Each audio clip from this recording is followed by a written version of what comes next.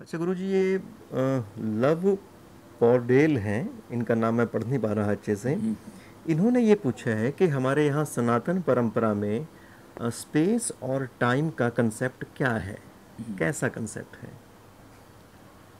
बात ये हमारे यहाँ दिक और काल को न्याय ने भी वैशेषिक ने भी जैन धर्म ने भी दिस दिक माने स्पेस और टाइम माने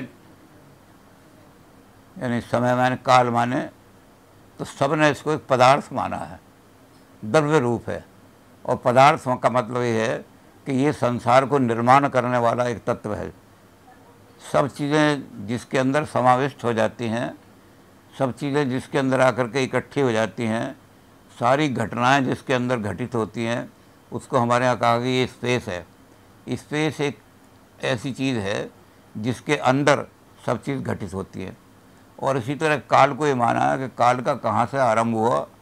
काल जैसे आजकल तो लोग ये कहते हैं कि घटना का होना वाइट हेड कहते हैं, कि घटना का होना, एक घटना और दूसरी घटना के बीच का जो समय है, वो काल को टाइम कहलाता है। अगर घटनाएँ होनी बंद हो जाए तो टाइम नहीं रहेगा, ख़त्म हो जाएगा। लेकिन हमारे यहाँ ये नहीं माना गया। हमारे यहाँ ये माना गया कि टाइम तो रहेगा ही रहेगा। घटनाएँ हों या ना हो, उस टाइम के अंतर अंतर्गत घटनाएँ होंगी एक टाइम और दूसरे के बीच में, और टाइम उन घटनाओं से परे रहेगा। कोई घटना घटित ना हो, तब भी टाइम रहेगा, क्योंकि घटना अगर घटित होती है तो पहले टाइम होना चाहिए। जिस वैक जिस चीज़ के अंदर कोई हो रहा है तो वैक्यूम नहीं होगा वो। वैक्यूम नहीं होगा, बल्कि कोई चीज़ होगी। तो हमारे यहाँ टाइम को और स्पेस को सभी ने, जैनिज्म ने भी, न्याय ने भी वैशिक्षिक ने भी। लेकिन हमारे यहाँ शंकराचार्य जो है कहते हैं कि ना स्पेस है, ना टाइम है।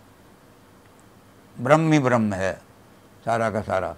द इन्फिनिट उस इन्फिनिट में ना तो स्पेस होती है, न टाइम होता है। तो स्पेस और टाइम जो है, वो कंटिन्यू वो एक ऐसी चीज़ है जिनका अस्तित्व कुछ नहीं है। लेकिन लौकिक दृष्टि से, हम परमार्थिक दृष्टि से स्पेस टाइम कुछ नहीं है। लेकिन सांसारिक दृष्टि से वो वही मानते हैं जो न्याय और वैशेषिक मानते हैं। कि टाइम के अंदर ही सारी घटनाएँ होती हैं। टाइम वो जो सारी घटनाओं को चलाता है। काल बड़ा बलवान है। सारी घटनाएँ काल के चक्र के द्वारा होती हैं। सब टेम्पोरल घटनाएँ हैं। अगर काल नहीं होगा तो उल्टा कह रहे हैं, वो वाइट हेड तो कह रहा है कि अगर घटनाएँ ना हो तो काल समाप्त हो जाएगा। हमारे यहाँ कहा गया, टाइम ना हो तो कोई घटना होगी नहीं।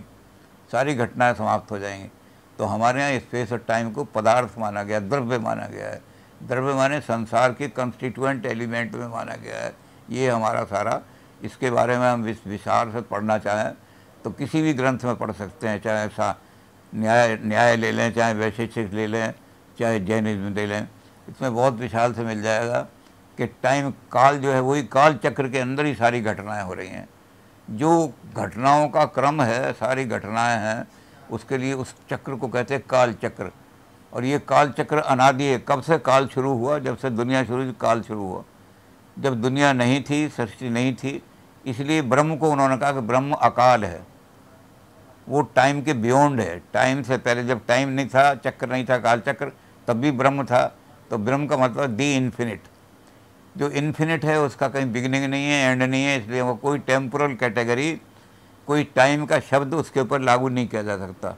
ब्रह्म से पहले कौन था? तो हम कहेंगे तुम्हारा शब्द ही मूर्ख, मूर्खतापूर्ण है, क्योंकि जो इन्फिनिट है, उससे पहले कुछ चीज़ नहीं होती।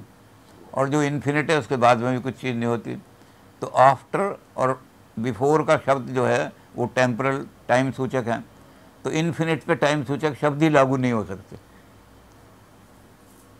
ये बहुत गहरी फिलोसफी है कि टाइम टेम्परल शब्द ही जो लागू कर देते हैं हम तो ये हम लैंग्वेज ही गलत यूज़ कर रहे हैं। तो ये लैंग्वेज का प्रश्न आ जाता है क्योंकि इन्फिनिटी की कोई इन्फिनिटी का कोई लॉजिक नहीं है। और फाइनाइट को चलाने वाला सारा टाइम है। टाइम चला रहा है, उसके अंदर घटनाएँ हो रही हैं और जहाँ घटनाएँ घटित हो रही हैं, वो स्पेस है सारी की सारी। तो हमारे यहाँ स्पेस और टाइम का बहुत विस्तार से वर्णन किया गया है सभी ग्रंथों में।